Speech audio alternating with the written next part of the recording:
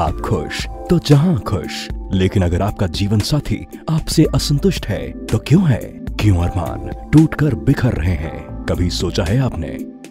आज अनगिनत लोग अपने वैवाहिक जीवन को आनंदमय बनाने के लिए डॉक्टर एस के जैन एवं डॉक्टर सारांश जैन से इलाज का लाभ ले रहे हैं। तो आप क्यों नहीं?